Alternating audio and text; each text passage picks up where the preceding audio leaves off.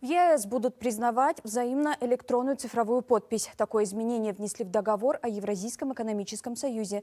В Сенате ратифицировали соответствующий протокол. По мнению депутатов, признание ЭЦП обеспечит доступ к участию в закупках, которые проводятся в электронном формате и увеличит возможности отечественных производителей по экспорту.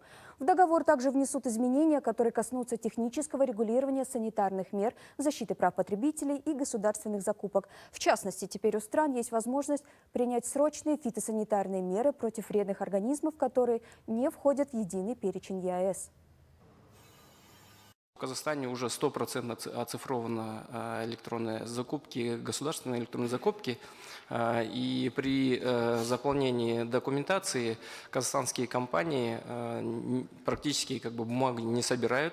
Порядка 20 различных систем подключены при заполнении этих документов, и они подтягиваются из других систем.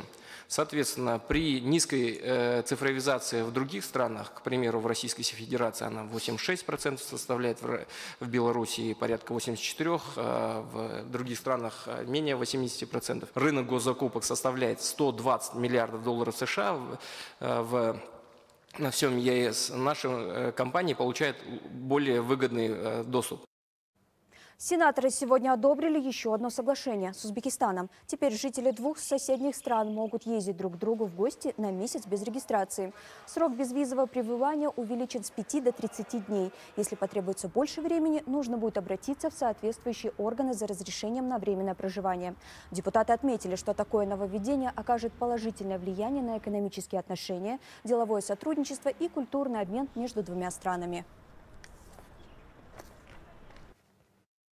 Казахстан и Узбекистан. Между Казахстаном и Узбекистаном сложились прочные братские отношения. Подтверждение тому договоры о вечной дружбе и о союзничестве, прописанные между нашими странами. Рассмотренный сегодня протокол предусматривает установление дополнительных оптимальных правовых условий в сфере взаимных поездок граждан двух стран. Уверен, что одобренный сенаторами закон внесет свой вклад в дальнейшее укрепление добрососедских отношений.